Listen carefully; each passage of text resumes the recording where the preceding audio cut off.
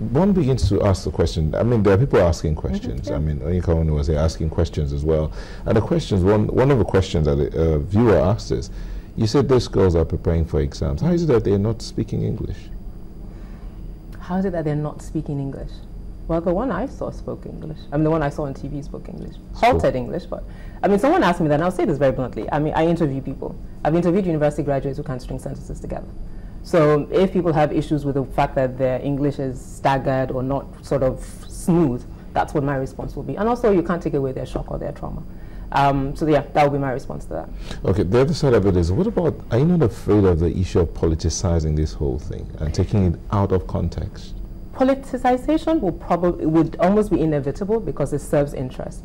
But the goal of those who are committed to this make sure that that doesn't get done. I Mrs. Owenu was here earlier and she spoke about the fact that protests are welcome. However, you, you showed footage of police being sent to quell a peaceful protest. On last week during the World Economic Forum, Doyin Okupe said on TV that if he had known, he would have won red in solidarity. The um, coordinating minister of the economy took a picture saying, bring back our girls. Um, so all of this is happening, and yet you send a battalion of policemen to stop a peaceful protest. They've been there for 12 days. Two days they were out on the streets, 10 days they sit, they take reports from different committees, family members give reports, the com Chibok community in Abuja give reports, we talk about meetings we plan. There's nothing that we've planned that's not been done in the full view of your cameras, everybody's cameras.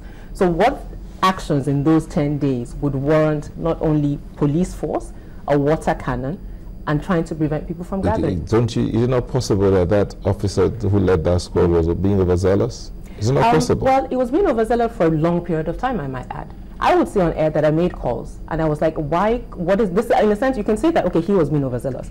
Now, the point then is, the whole time that they were there, surrounding Unity Fountain for about two, actually they got there at two, the meeting was supposed to start till three. They were there till about five. So in a three hour operation, nobody above him knew what was going on. I could call them back. Even if, I'll give you that, he was being overzealous. But in three hours, in Abuja, nobody found out what was going on. I could call them back. So then it makes you wonder, yes, we're looking for the girls. Yes, the government is concerned. Yes, this is, we want to do this. But then you send the police to, to stop people who are sitting down on mats to have a meeting. That doesn't, I mean, the communication, then you begin to wonder what exactly are we communicating? Who are we looking, are we on the same page? Are we on the same side? If it's about looking for the girls. What what's the sense that you get? I was just going to ask you quickly though. Mm. Did you get a sense from from your meetings that mm. you know there were suspicions, you know, insinuations that these girls were not missing at all? Initially, there were, quite frankly. I mean, I think I still have a few conversations with people who now don't talk about the numbers. Uh, they talk about, um, not that they weren't missing at all, but talk about 200 is a large number. There are still, and I think there are still a lot of people who still doubt. But I say that, um, one, because it's been a pattern over three, four years that for me points clearly to the fact that there is an issue with abduction. And the fact that at the end of the day, the responsibility lies with the federal government to be able to document all of its citizens. Yes, they live in Borno State, but at the end of the day, they're citizens of the Federal Republic of Nigeria. So the onus is on the federal government to prove otherwise. People have come forward to say their children are missing. People have come forward to say their communities were sacked. Let me put it in perspective for you. Chibok local government is about 1,350 kilometers squared has about 70,000 people approximately. Lagos is about 1,000 kilometers squared, 17 million people. So if 200 people are missing in Chibok, it's like 5 million people being missing in Lagos, equivalent, about the same size. So if people have come forward and said they're missing people, the onus is on the federal government to respond.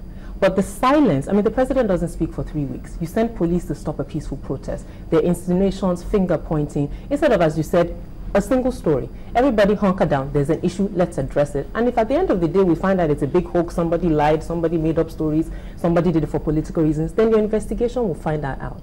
But we waste a lot of time pointing fingers and not addressing the issues, and at the same time hoping the problem would go away. And then it makes a mockery of it when government officials are saying, bring back our girls. So who are they talking to? Yeah. I mean, we are talking to government to bring back our girls. But how can a minister be saying, bring back our girls? Who is she talking to? You know, time wasting is another issue we should also look at uh, because you, you, you just uh, uh, drew attention to time wasting. And if we say we have a list already from the West African Examination right. Council, and if we say the Borno state government has been speaking, can't we by now pick that list up and see what we can do? and narrow it down to who exactly we're looking out for. Exactly. We could, very simply. So we start at least, you're starting somewhere. You have a list from WAEC, you have a list of narrowed down that was presented. Start somewhere. Okay, who are we looking for? Where? And then if we don't even know the names of the people we're looking for, how are we looking for them? Sambisa Forest, we've talked about it. Sambisa Forest is a game reserve, which should have a map. I mean, game reserves, I remember going, to, I went to Yankari as a child. There's a map, there are outposts, there are whatever you call those little huts that you go as you transfer stuff. So why is it so challenging? And we keep talking about this as some very um, ojuju, I don't want to use the word, but one forest that people can get into. So that sort of thing just makes you really, really wonder. And then you hear reports of there was given an advance notice. Monday last week, another community ransacked. They said they operated for eight hours. Without, how do you operate in a community for eight hours?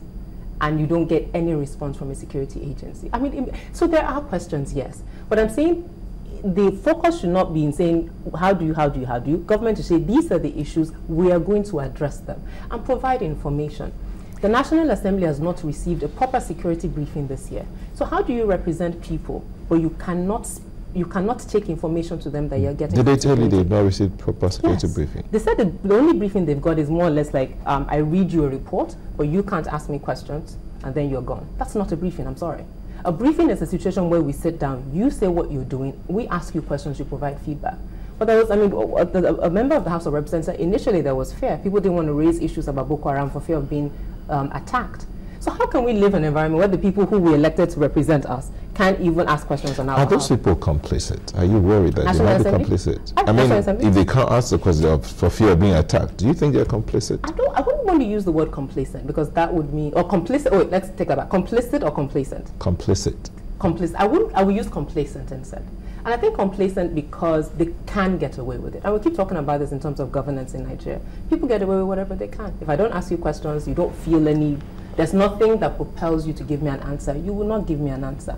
But we need to increase pressures because, at, at least for Nigerians, that's one area where we have a say because we elect them. Okay, let's see about increasing pressure. Yeah. And uh, I mean, the Federal Ministry of Education said they wrote to the school authority, to the government, said shut down all schools. Um, WAEC said relocate, but the state government said no, they won't relocate. So where are we directing pressure now?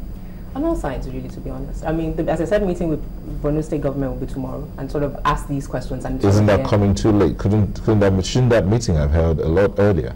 It might have, but I guess also part of it is just process. Quite frankly, I shouldn't have to have a meeting with the Borno State government. Quite frankly, that should be between the federal government and the Borno State government that shouldn't be my role as a citizen. But I'm now having to do that because they're not doing their jobs. Mm. So yes, and it's also a process of, of, protocol. So when can we have? We've been talking about this meeting since last week.